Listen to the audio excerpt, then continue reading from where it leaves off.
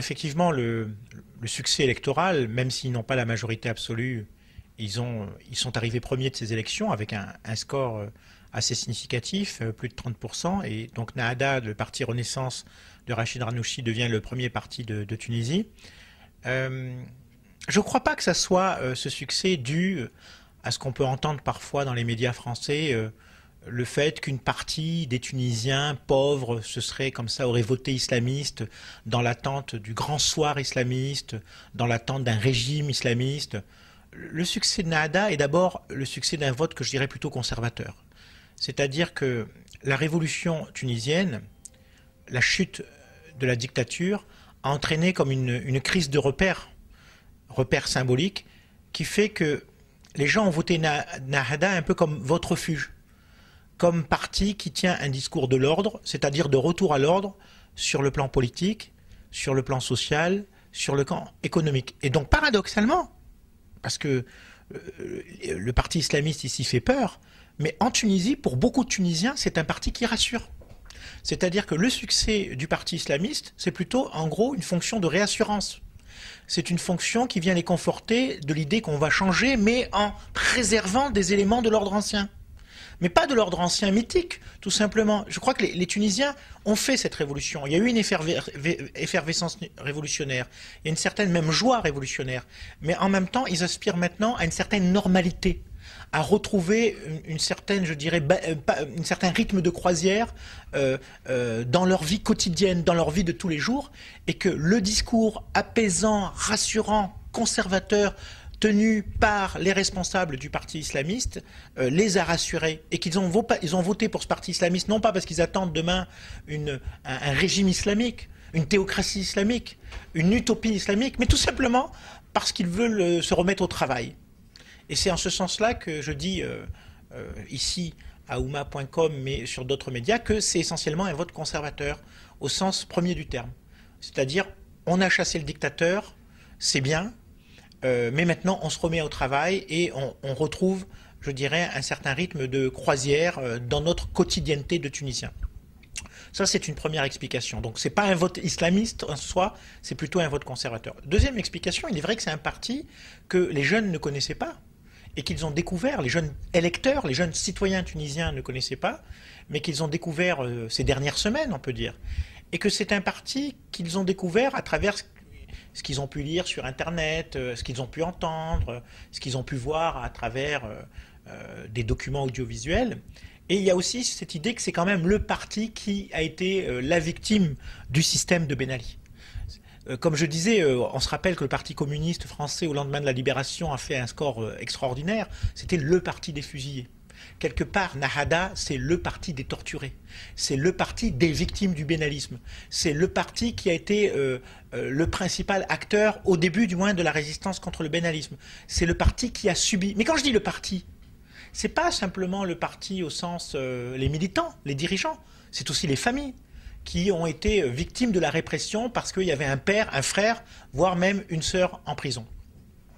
Ça, c'est le deuxième facteur, ce que j'appellerais cette, auréole de partis victimes, de partis martyrs de la dictature euh, de Ben Ali, et c'est eux qui l'ont et qui l'ont capitalisé sur le plan symbolique. Puis la troisième explication, elle est beaucoup plus basique, mais à mon avis, elle est beaucoup plus euh, forte et elle explique beaucoup de choses.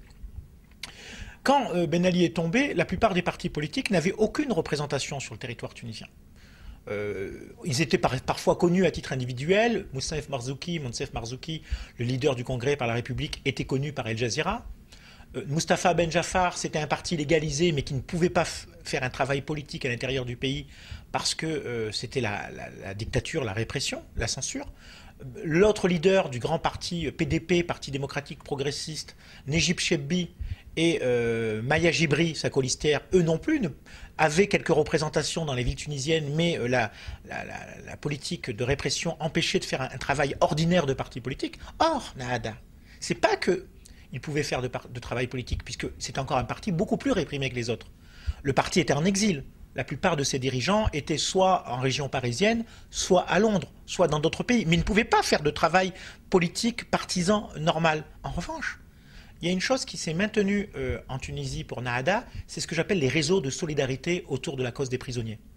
il n'y avait pas en Tunisie, dans, toutes les villes tunisiennes, dans tous les quartiers, dans tous les villages, il y avait toujours une famille qui avait un frère, un père, un cousin en prison et que ça a développé des réseaux de proximité, de sociabilité, voire même de voisinage, que les gens ne disaient pas. C'était tabou de dire qu'on avait un, fils ou un père qui était prisonnier. Mais ça a maintenu une sorte de cohérence sociale. Et ces réseaux de solidarité, avec la chute de la dictature, ont pu très vite servir de relais pour le parti Nahada pour devenir des réseaux politiques, voire même dans un deuxième temps des réseaux électoraux. Donc la victoire du parti, euh, Renaissance, Nahada, c'est aussi la victoire d'un parti qui était, qui était présent grâce à ses sociabilités ou ses réseaux de solidarité ordinaires autour de la cause des prisonniers.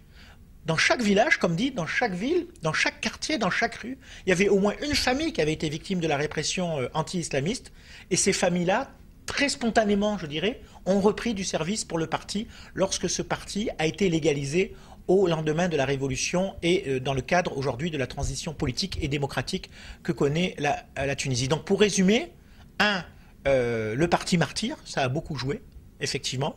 Deux, euh, l'aura, le, l'aura de parti martyr. Pardon, les réseaux de sociabilité ordinaires. Et puis, je dirais aussi d'une certaine manière euh, le vote conservateur, c'est-à-dire que, euh, et c'est un facteur aussi important, comme je le disais tout à l'heure, c'est un vote refuge. Finalement, ce n'est pas un vote qui a fait peur, Nahada, en Tunisie. C'est plutôt un vote, c'était plutôt le vote qui confortait les gens. Oui, on a fait la révolution, mais maintenant on veut un retour à la stabilité. Donc quand on dit que, quand on agite le spectre du diable, en fait, les Tunisiens le vivent exactement au contraire c'est plutôt le parti qui les rassure. Alors c'est vrai que nous, ça peut nous surprendre vu de ce côté-ci de la Méditerranée, de Paris ou de Marseille, mais pour les Tunisiens, non. Vous croyez des jeunes Tunisiens en jean, des filles en jupe qui vous dire je vote pour ce parti parce qu'il me rassure, parce que euh, on a fait la révolution, maintenant on veut aller au-delà, euh, on pouvoir travailler, une économie saine, etc., etc. Donc moi je le maintiens, quitte à me faire contredire. Je pense qu'on n'est plus du tout dans l'utopie islamique de l'État islamique, mais on est dans un vote euh, assez classique euh, d'un parti, euh, oui, attrape tout quelque part, il faut le dire, parfois un peu populiste, faut-il le dire aussi, mais surtout très conservateur, qui vient rassurer pas seulement les pauvres, parce qu'il n'y a pas que des pauvres, les classes moyennes et une partie des classes supérieures, parce que nous faire croire que c'est le parti des déclassés, des gens qui sont désespérés, qui votent Nahada, alors là, c'est une vision totalement fausse. Probablement que les études électorales qui seront effectuées par les politologues ou les sociologues tunisiens ou étrangers travaillant en Tunisie montrera qu'il y a aussi beaucoup de gens de la classe moyenne, des fonctionnaires, beaucoup de gens aussi, même voire des acteurs économiques, des petits entrepreneurs et des commerçants qui ont voté pour ce parti.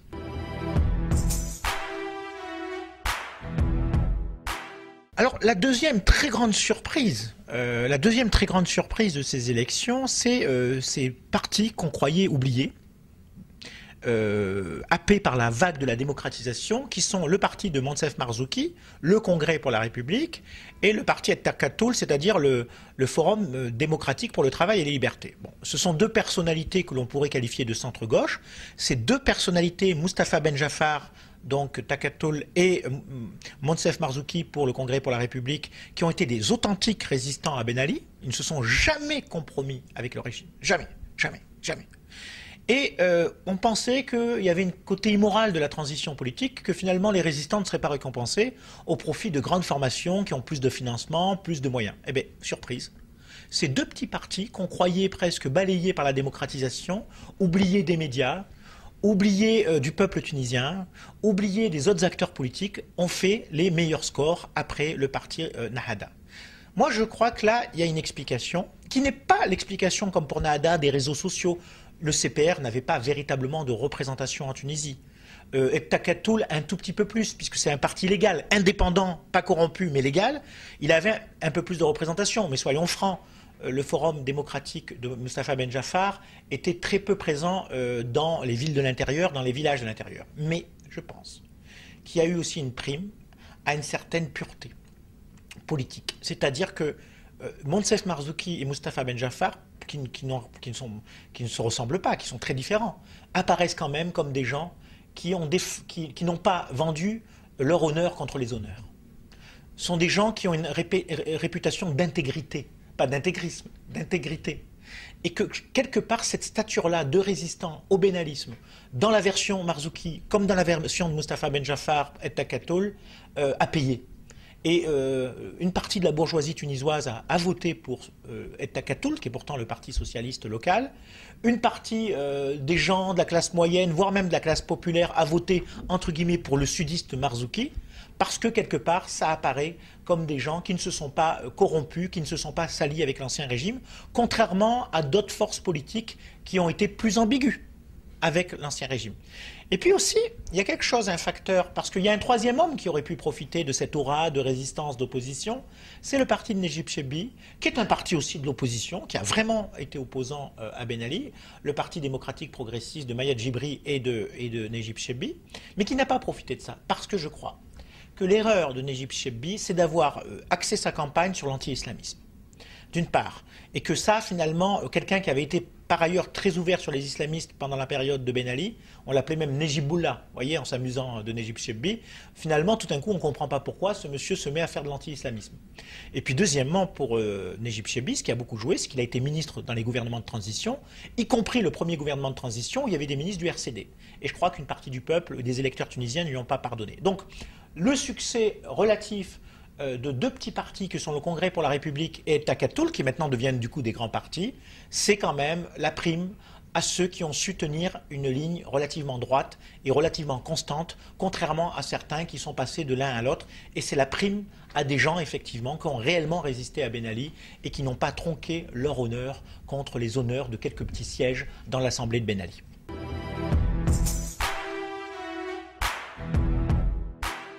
Chèque des partis laïcs, faut-il dire, est-ce que c'est le rejet de la laïcité? Moi, je ne suis pas sûr non plus, parce que d'abord, ils ont été assez prudents, hein, parce qu'en France, ils disent laïque, laïque. Quand on regarde le programme, y compris du, du pôle moderniste, donc qui regroupe l'ancien parti communiste tunisien, devenu Et le mouvement renouveau, et puis euh, qui regroupe des intellectuels de gauche, dits sécularistes laïcs. Dans leur programme, le mot laïcité est très discret, et même je crois qu'il n'y est même pas dans le programme officiel. Bon.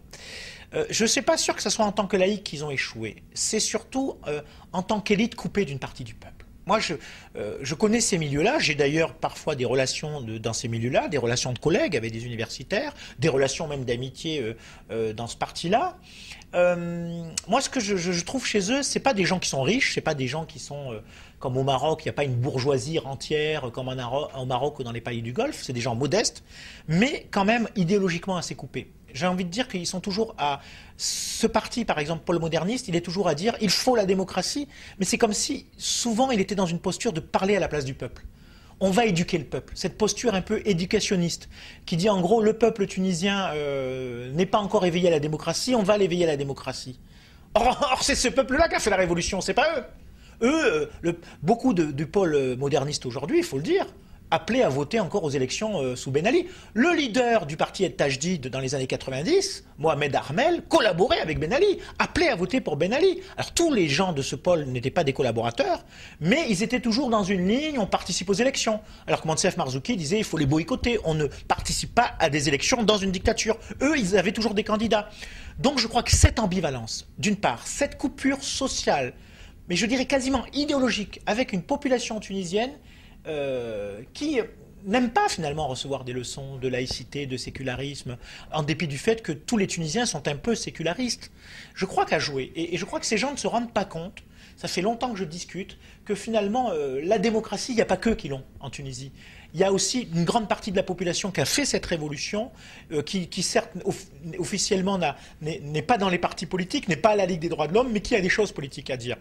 Et je crois que le problème du, pôle moderniste et de ces partis dits laïcs, c'est fondamentalement, euh, ils ont un regard extérieur. C'est comme si la société tunisienne, d'un côté, ils se réclament de la société tunisienne, mais ils parlent souvent au peuple tunisien comme s'ils étaient des éducateurs. Voilà. Ils sont des éducateurs du peuple. Et cette posture d'éducateur du peuple, ça passe pas auprès des citoyens moyens, tunisiens, ordinaires, même des petits fonctionnaires qui se disent on n'a pas de leçons à recevoir. Donc je dirais que le pôle moderniste a vraiment un travail sur lui-même à faire pour euh, arrêter de se prendre pour des Jules Ferry de la Tunisie voulant éduquer le petit peuple tunisien et pour aussi être proche. Mais leurs valeurs sont totalement défendables. Je veux dire qu'ils défendent le principe de laïcité, euh, ils défendent une certaine égalité homme-femme. Moi, je, ne suis, je, ne critiquerai pas leurs valeurs, mais euh, plutôt leur démarche. Et je dirais qu'ils ont une démarche contre-productive. C'est-à-dire qu'ils ne cessent toujours, en plus de jouer sur la diabolisation de l'islamisme, or, comme je dis, et, je finirai par ça, c'est qu'en Tunisie, euh, bien sûr qu'on a le droit de ne pas être islamiste ou ou, laïque, on a le droit de ne pas vouloir être classé barbu ou imberbe. Mais il faut surtout apprendre à dialoguer. Il faut apprendre surtout à sortir de l'anathème. Et comme je le dis et je le répète tout le temps, il faut sortir de la figure de l'ennemi intérieur. On ne peut pas continuer à être dans une situation politique où on traite l'autre de terroriste, de fondamentaliste. Les uns, on les traite de fondamentalistes laïcs, les autres de fondamentalistes islamiques, comme si chacun se baladait dans son, dans son couffin avec une bombe pour aller tuer l'autre. Il faut passer euh, de la situation d'ennemi intérieur, d'image d'ennemi intérieur qui était fabriquée, entretenue par le bénalisme, entretenue par la dictature, par l'image de l'adversaire politique. Apprendre la pluralité politique, c'est-à-dire que les islamistes aussi apprennent qu'ils ne sont pas les seuls, et en même temps que les dix partis laïcs qui ont fait des scores ridicules apprennent que les islamistes, ce n'est pas seulement des islamistes et des barbus à couteau contre les dents, c'est des conservateurs, et il faut les, les combattre politiquement en tant que tels, comme des adversaires et non plus comme des ennemis car la posture de l'ennemi favorise toujours l'autoritarisme, la dictature et la répression. La réussite de la démocratie tunisienne et de la démocratisation, du processus de démocratisation, de l'instauration du pluralisme politique passera par, je dirais, cette véritable révolution symbolique de ne plus considérer l'autre comme un animal, comme un, ennemi, comme un, étranger à sa société, mais que tous les Tunisiens savent qu'ils sont dans le même bateau, le bateau de la Constitution, le, bateau de la refondation, le bateau d'une nouvelle République qui est la Deuxième République. Et donc, ils doivent aussi apprendre à parler ensemble et non pas à se traiter de fondamentalistes, fondamentalistes laïcs, fondamentalisme religieux, et apprendre quelque part à considérer que les anciens ennemis sont maintenant que des adversaires.